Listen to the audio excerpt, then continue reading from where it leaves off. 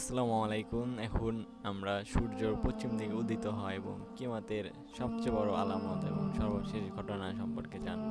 ইমাম বুখারী বর্ণনা করেন যে, আবু রাদিয়াল্লাহু বলেন আলাইহি সাল্লাম একদিন সূর্যাস্তের সময় আমাকে বললেন তুমি কি জানো যে সূর্য কোথায় যায়? বললাম, আল্লাহ এবং তার রাসূলের সামাজিক অবগত। তিনি বললেন, সূর্য গিয়ে আরশের নিচে সিজদায় পড়ে যায়। তারপর অনুমতি প্রার্থনা করলে তাকে অনুমতি দেওয়া হয়। কিন্তু একটি সময় এমন আসবে যখন সূর্য সিজদা করবে, কিন্তু তা কবুল হবে না এবং সে অনুমতি প্রার্থনা করবে, কিন্তু তাকে অনুমতি দেওয়া হবে না। তাকে বলা হবে, যেখান থেকে এসেছ, সেখানে ফিরে যাও। ফলে সে পশ্চিম দিকে উদয় হবে। নিজ কক্ষ সন্তর অবস্থায় আমাদের দৃষ্টি থেকে অস্তমিত হয়ে যায়। একাধিক তাপসি বিষয়কের মধ্যে সূর্যের কক্ষপথ হলো চতুর্থ আকাশ। শুরুতে এর বিরোধী কোনো বক্তব্য পাওয়া যায় না, বরং বাস্তবে এর পক্ষে প্রমাণ রয়েছে। যেমন সূর্য গ্রহণে তা প্রত্যাখ্য করা যায়। মোট কথা, সূর্য দুপুরবেলায় আরশের সর্বনিকটবর্তী স্থানে অবস্থান করলেও মধ্যরাতে উত্তর ও দক্ষিণ মেরুর ঠিক মধ্যবর্তী স্থানে পৌঁছে।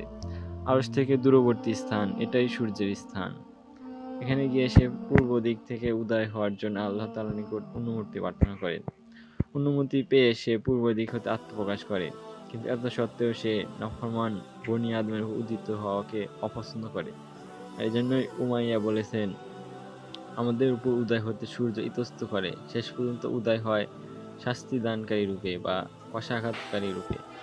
তারপর যখন সে সময়টি এসে যাবে, যে সময় আল্লাহ পশ্চিম দিক থেকে সূর্যকে উদিত করতে মনস্থ করবেন, তখন সূর্য তার চিরচরিত অভ্যাস অনুযায়ী সিজদা করবে এবং নিয়ম অনুযায়ী উদিত হওয়ার অনুমতি প্রার্থনা করবে। কিন্তু তাকে অনুমতি দেওয়া হবে না। ফলে সে আবারও সিজদা করে অনুমতি চাইবে, কিন্তু অনুমতি দেওয়া হবে না। পুনরায় সে সিজদা করে অনুমতি প্রার্থনা করবে, কিন্তু এবারও তাকে অনুমতি দেওয়া হবে না। এবং সে রাত্রি দীর্ঘ হয়ে যাবে, যেমন আমরা তাফসির উল্লেখ করেছি। তারপর সূর্য বলবে, হে আমার রব, প্রভাত তো ঘনিয়ে এলো, অথচ পারি অনেক দূর। জবাবে তাকে বলা হবে, তুমি যেখান থেকে এসেছ, সেখানে ফিরে যাও। ফলে সে পশ্চিম থেকে উদিত হবে।